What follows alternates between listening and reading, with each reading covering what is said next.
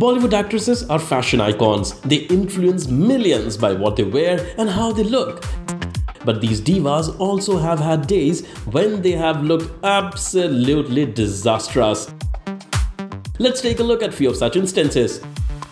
Well, Ash is one of the biggest fashion icons of Bollywood, but even her biggest fans will admit that the purple lipstick she wore at Cannes 2016 was nothing but a disaster.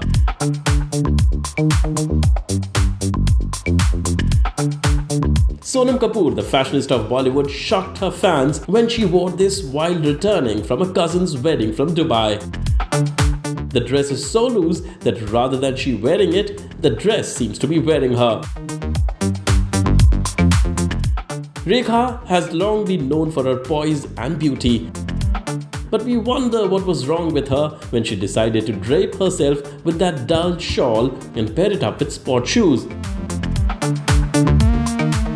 Aishwarya Rai wore a rather pretty dress at this event, but she seemed to have too many sleepless nights as she overdid the eye concealer. Parineeti Chopra had a nightmarish experience when a cameraman pointed out a glitch in her makeup. Parineeti, what happened here on your nose? Something is there?